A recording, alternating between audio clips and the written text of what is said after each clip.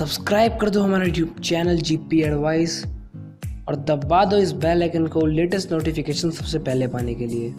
Hello नमस्ते दोस्तों, आज सभी का हमारे अपने यूट्यूब चैनल में बहुत स्वागत है। दोस्तों, इस वक्त का इंपॉर्टेंट अपडेट निकल के आ रहा है पंजाब गवर्नमेंट की तरफ़ से। क्या पंजाब गवर्नमेंट ने बड़ा अपडेट जारी किया वो तो गाइज़ मैं आपको आज की वीडियो में बताऊँगा बट उससे पहले आप सभी को आपकी पढ़ाई में हेल्प करने के लिए बढ़िया ऐप बताना चाहूँगा। तो पहले वो ऐप देख लो।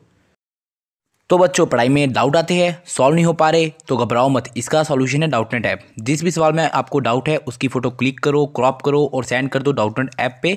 पाँच सेकंड में आपको मिलेगा वीडियो सॉल्यूशन वो भी बिल्कुल फ्री में। यानी अब पूछो अनलिमिटेड सवाल, कभी भी और कहीं भी। चाहे आपका सवाल क्लास सिक्स टू ट्वेल्थ हो आई आई जी नीट का हो या फिर C B S E UP Rajasthan किसी भी स्टेट बोर्ड का। कोई भी सब्जेक्ट हो physics chemistry math biology science आपके सभी सवालों का जवाब मिलेगा डाउटनेट ऐप पर। साथ में डाउटनेट पे चल रही है class nine two twelfth IIT JEE NEET के बच्चों के लिए ऑनलाइन क्लासेज जिसका हिस्सा बनकर देश के सभी राज्यों के बच्चे लाए रैंक वन तो, तो आज ही इंस्टॉल करो डाउटनेट ऐप और सभी डाउट को करो आउट और टॉप रिज़ल्ट पाओ।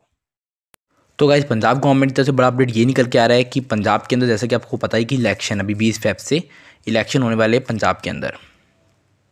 तो पंजाब के अंदर अभी स्कूल खुलने के चांसेस कम हैं बट पंजाब के जो प्रिंसिपल है स्कूल के, वो डिमांड कर रहे हैं कि बच्चों को स्कूल खोल देने चाहिए, क्योंकि जिन बच्चों को पूरा वैक्सीनेट हो चुके हैं जो बच्चे, उनके स्कूल पंजाब में खोल देने चाहिए। बट मैं गाइज़ आपको बताना चाहूँगा कि पंजाब के अंदर इतनी जल्दी और इतनी आसानी तरीके से स्कूल शायद नहीं खोले जाएगी। अगर गवर्नमेंट अलाउ भी कर देती है तो भी पंजाब पंजाब के अंदर स्कूल इतनी जल्दी नहीं खुलेगी, क्योंकि पहले सबसे बड़ा रीज़न ये है कि पंजाब में इलेक्शन है।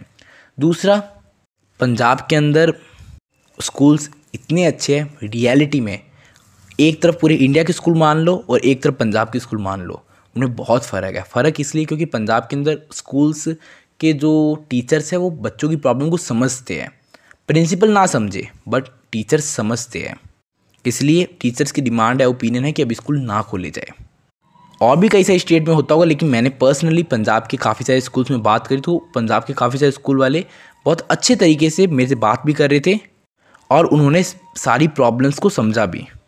बाकी गाइज़ मैं आप सभी को वापस से बता दूँ कि पंजाब के अंदर, पंजाब के जो प्रिंसिपल्स है स्कूल्स के वो डिमांड कर रहे हैं कि पंजाब के अंदर अभी जो स्कूल्स उनको खोल देना चाहिए। जिन बच्चों को वैक्सीन लग गई है, उनके लिए।